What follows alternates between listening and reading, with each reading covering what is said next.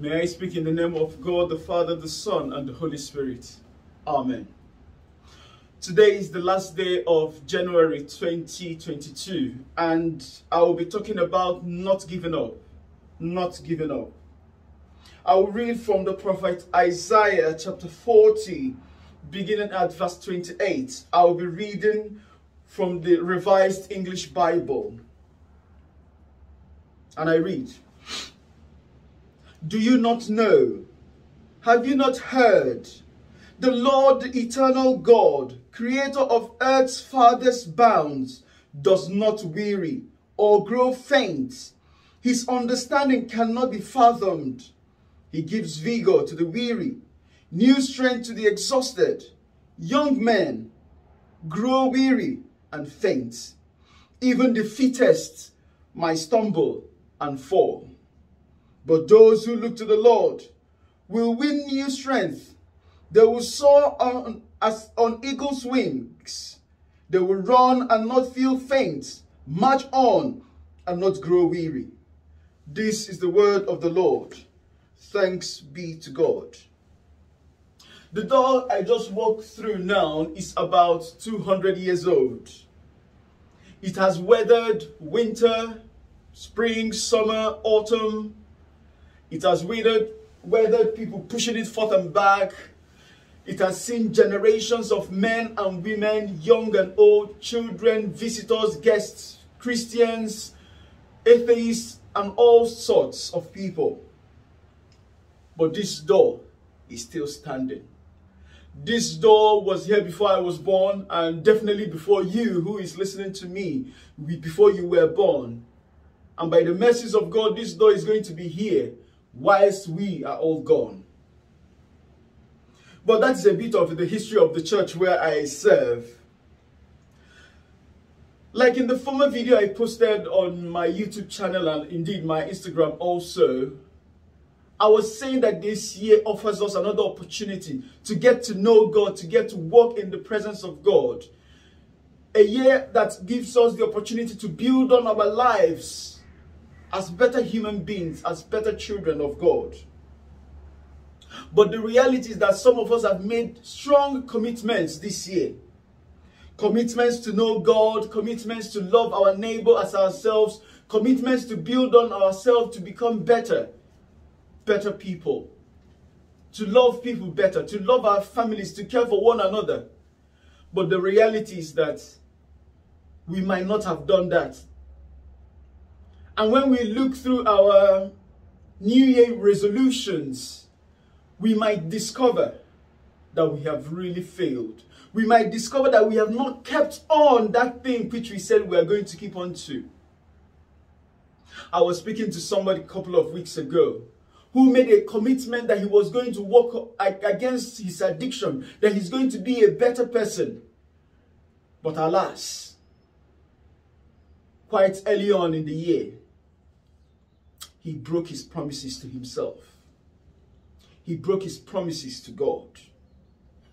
And I don't know about you. Are your addictions coming back? Are you giving up already? Have you started again from where you stopped? With the drugs, the addictions, the excessive drinking, the pornography, the cheating, the unfaithfulness to your spouse or to God. And you are like, if I have failed this January, what's the possibility that I can survive February, March till December? Maybe you have failed in reading that book. You, you made a commitment to read a book each week or each month. And maybe just like you, or just like me, you are still in that first page of that book. And you're like, what's the point? Let us simply carry on with life. Definitely, we are not going to survive. We so let's just give up. Let's just give up. Maybe you're already tired. Maybe you have already given up. But we have 11 months to go. We have 11 months to go. Yes, January might not have been a huge success, but we have 11 months to go. And this is where this scripture we read today is really important. In the NIV, it says, Those who know their God, those who know their God shall be strong those who know their God. Let me introduce this God to you. Perhaps you are not fully sure of the God I'm talking about. The Bible says that He is the Lord, meaning that everything is under His power. He is the God. He is everlasting. He is eternal. He's beyond time and space. Therefore, God doesn't count these calendar months we are counting. God doesn't count these 31 days January calendar, 12 months. He lives out of time and space. The Bible also tells us that He is the creator. Therefore, He created you, He created myself, He created everything that we know and we see. That is the God I'm talking about. He never grows weary. This is also the God I'm talking about. No matter how difficult life is, God does not get tired. He does not faint out of weariness. No, he doesn't. We can't even understand him. His understanding is beyond our mindset. That is the God I am talking about. That is the God we are speaking about today. The Bible says he also gives strength. So he's the God, the giver. He gives strength. And he increases the strength of the weak. This is the God I'm talking about. And perhaps you are trying to give up. And I say to you, do not give up. There's no point giving up. Because from the initial point, our strength is not from us, it is from this God. It is from this powerful and awesome God. Therefore, we cannot give up because we are not relying on our abilities to survive. We are relying on the grace of God, which is able to make the difference in our lives. And I say to you, don't give up. Do not give up. He says, but those who wait upon the Lord, those who look upon the Lord, shall renew their strength. Therefore, we are not trusting ourselves. Because we know we are weary, we know we are tired, we know we are frail and fragile and weak. But there is power in the name of the Lord. Those who wait upon the Lord shall renew their strength. And I say to you this day, wait on the Lord. Why give up? Why let addictions destroy your life? Why let immoral situation cripple you? No, we cannot let that happen because we will wait on the Lord. We will wait on the Lord. And not only will he renew our strength, he will give us power and strength to soar on high like eagles. Trust in the Lord with all your heart and be not wise in your own understanding. God is for us and not against us. And I say to you, do not give up. Things might not seem right. Things might not seem proper. But do not give up. The irony of it is because we failed in one month, we simply want to give away 11 months. Why don't go back to that book you're reading and start reading? Keep reading, keep pushing. Maybe that musical instrument you want to learn and you've done nothing about it this January. Maybe you've just gotten a book that is good. Hold on to that book. Start reading that book.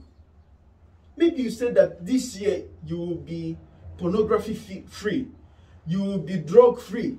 You will be alcohol free. What are your commitments? You're already giving up.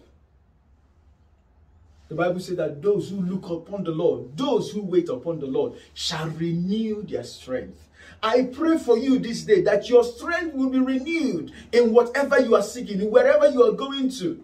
Do not be tired. Do not be tired. The grace of God is sufficient for us. Where others feel tired, where others are weary, we cannot be because our strength is not from us. We have a divine connection. We are connected to God, and that is where we receive strength to move, strength to make the difference, not just in our life, but in the life of people around us. So I say to you, do not be tired. Do not be tired. Because the Lord is our hope and our strength, as says the psalmist. Don't rely on yourself. This battle is of the Lord, not of yours. You cannot win this battle alone. Some trust in chariots and horses, but we trust in the name of the Lord. Remember those words of David. He comes against me with javelins, sword, and spears, but I come against him in the name of the Lord. Why don't you put your trust in God? This month, you might call it a waste already, but I say to you, nothing is wasted in the presence of God. Why don't you go back to those commitments? Why don't you go back to God? Those who look upon God, those who wait upon God shall renew their strength. Let us rely on God, who is able to make the whole change and difference in our life. Never give up. Never give up because God does not tire himself. He is not tired of giving you strength. He's not tired of making you strong. He's not tired of giving you successes and victories. And that is why I say, do not give up. Do not give up. And God will strengthen you in this season. I pray for you. I pray for myself. I pray for all of us that God will strengthen us this year. That those commitments we've made will stand. Like I said before, this door has been here for more than 200 years. More than 200 years. It has seen a lot and it's still standing. It is still standing. If an ordinary wood can stand this much, how about you who Christ died for? If an ordinary wood can stand firm, have been used by thousands and thousands of people over the centuries, God renewing it every day, why would God do much more for you? Brother, sister, be encouraged. Because they that know their God shall be strong, and they shall do exploits they shall do exploits. Trust in the Lord with all your heart and be not wise in your own understanding. Because the God we look unto is powerful and strong. Be encouraged, brother. Be encouraged, sister. Because God, our own God, shall give us his blessings. Let us pray. God, give us grace and give us your strength. That in moments of weakness and failure, we can look unto you to renew our strength because we look upon you and unto you alone. We wait for you. We look unto you. Renew our strength that from tomorrow we shall continue in that journey to becoming a child of yours, walking against every principality and power in our ways. Thank you, blessed Redeemer, for in Jesus' name we have prayed. Amen. In the name of God the Father, Son, and the Holy Spirit. Amen. Have a blessed day.